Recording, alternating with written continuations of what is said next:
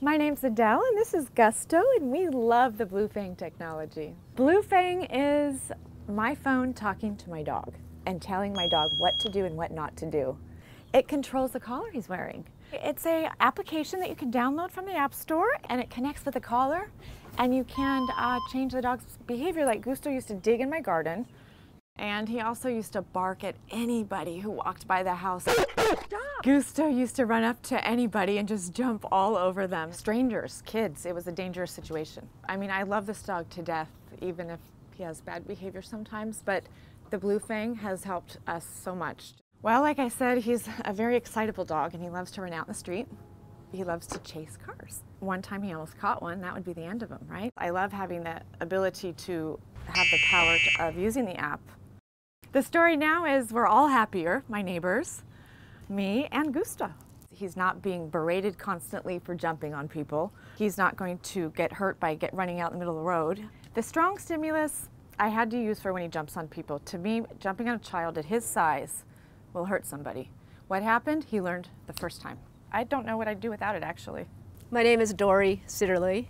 I'm a professional studio animal trainer.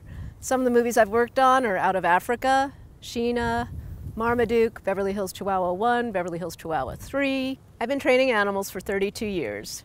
You know, products come and go. I think I'm going to be using this for a while. I'm excited about it. If I want to teach my dog that this sound means sit, I make that sound, I associate the sound Good. with the behavior, and eventually the dog learns that that tone means for it to sit you know, if you just ignore a negative behavior, the dog's reward is doing that behavior. And if you keep letting it do it, it's rewarding itself every time it does the, the bad dog behavior.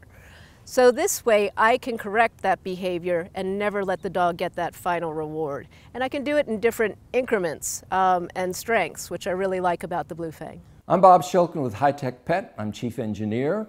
I've been in electronic industry doing development for about 40 years with um, NASA and with uh, military, government, and now consumer products. In the last three years, I've been working on our Bluetooth Blue Fang product. The dog collar has uh, probes on the back, which you attach to the neck so that uh, he can feel the stimulus. And then we have an iPhone application that communicates with the dog. For training, you press a button and uh, the dog receives the tone.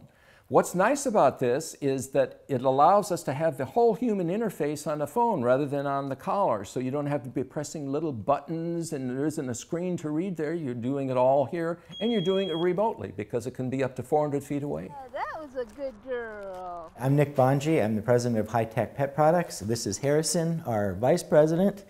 And we've been in the business of making uh, high quality electronic pet care products for 30 years.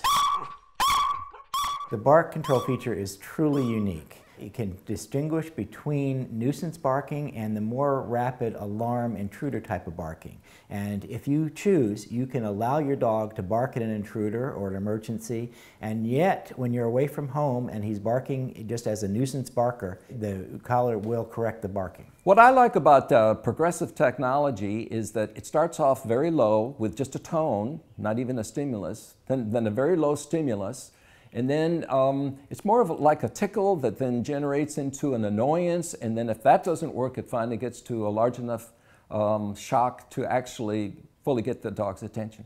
To use the electronic fence, you bury a wire around the perimeter of your yard. That wire sends out a radio signal. It's picked up by Harrison's Blue Fang collar.